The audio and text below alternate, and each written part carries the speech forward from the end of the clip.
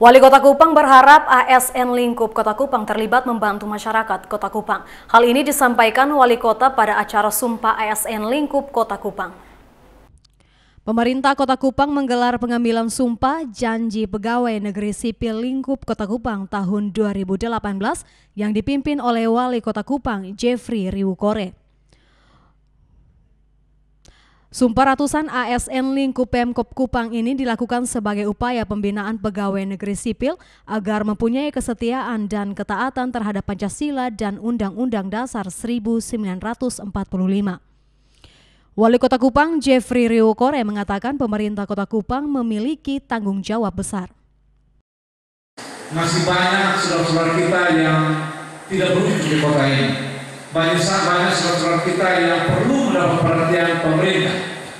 Pemerintah tidak punya mata dan tangan yang kuat untuk menjangkau semua saudara-saudara kita yang tidak beruntung itu.